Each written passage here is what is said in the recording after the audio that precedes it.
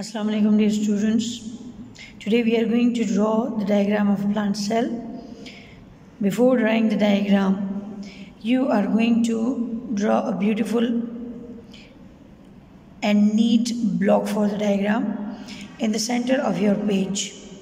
In the center that is 2 3 lines above the block and 2 3 lines below the block you are going to leave and then in the center you are going to draw the diagram. Beautifully now before drawing the diagram you are going to leave the place for labeling. As we are drawing the diagram of a plant cell that is in your book you can see that this diagram is having labeling on both sides.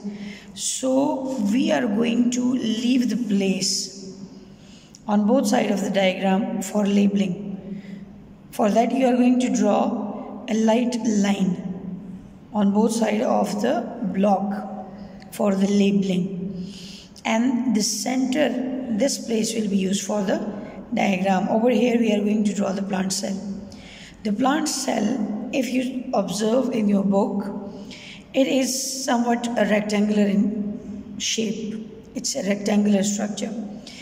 And there is a central vacuole large vacuole now, first of all, we are going to draw two rectangles at a short distance from each other because this line we are going to make it cell wall and the inner line we are going to make it cell membrane. And another rectangle we will draw in the center of this this rectangle. Now we are going to rub these corners of the rectangles like this. Just uh, rub these corners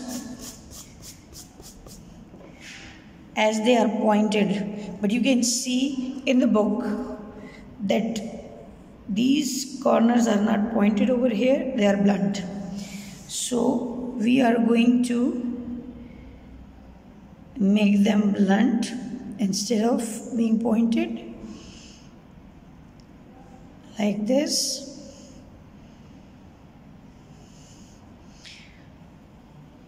With all four corners. To give it a bit natural look.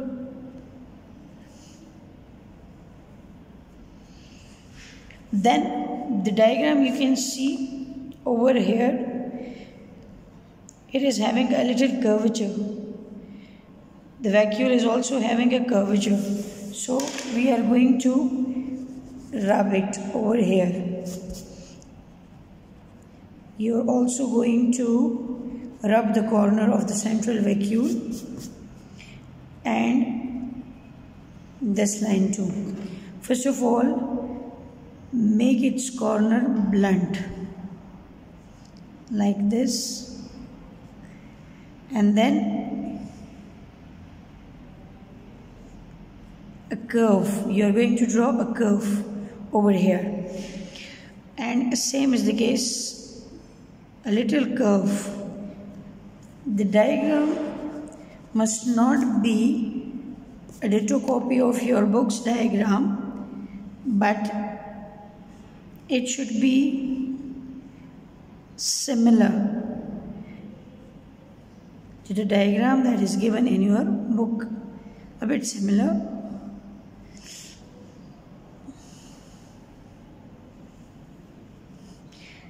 So now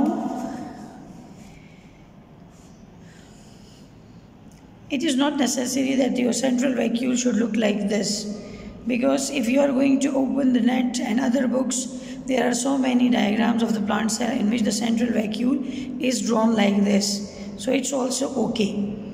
Over here you are going to draw the nucleus. It can be like this. You are not going to use the compass for making this circle because it's not that uh, circular in shape. Over here you are going to draw a circle for this. Then you are going to draw. Now this is what we call this. Over here Druse crystal. Druse crystal you are going to draw a circle for this and you are making it a bit spiny. As if spines are arising from the structure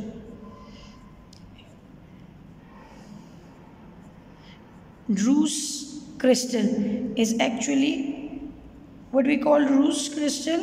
It's a group of crystals. Group of calcium oxalate crystals. In the center or on the side of nucleus you are going to draw nucleolus. Now in the vacuole you can see there are raphide crystals. For that you are going to draw one, two, three, at least four but these should be a bit narrow. These lines should be close to each other and then you are going to join their ends like this. So these are the raphide crystal. You are going to draw one two raphide crystals beside this as it's shown in the diagram.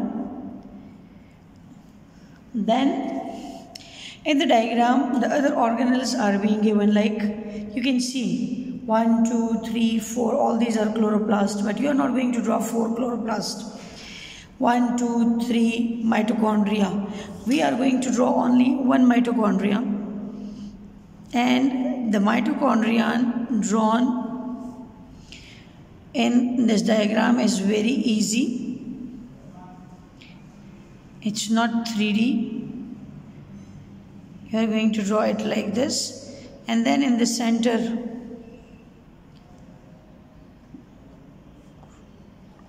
and you are going to shade it as it is shaded in your book. Similarly, you are going to draw oval structure another oval structure for chloroplast. And in chloroplast you are going to draw two grana and connect these two grana with a line which we call intergrana and then you are going to draw another oval structure. In this oval structure you are going to draw lines and lightly shaded. This is a amyloplast. For Golgi bodies, see, it's very easy with a curve, not straight, but with a curve. The first one is longer than this one and the last one is shorter than all of these. And over here, Golgi vesicles then from the nucleus, that is the nuclear membrane, you are going to extend the endoplasmic reticulum. In this way,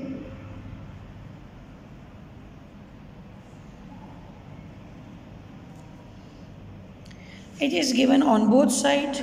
It's not necessary that you are going to draw it on both sides. If you are not having time for drawing like so you are going to draw all the necessary organelles which are present in the cell. After this you are going to label the diagram. So for labeling the best way for labeling the diagram is that uh, you are going to use the pointer. And we are going to start from the cell wall. The outermost lining. This is cell wall.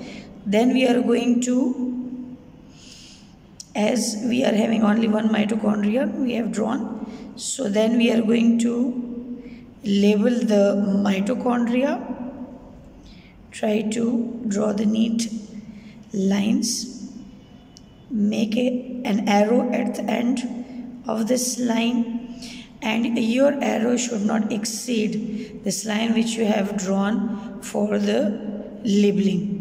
So similarly you are going to draw all these lines like cell wall. So you are going to double underline the labeling of cell wall. And you are going to write with the pointer in capital letter cell wall. In this way the structures which are close to the lines first we are going to label them we are going to use the other side for the structures which are on this side. So in this way we are going to label the plant cell neatly as I have already labeled it.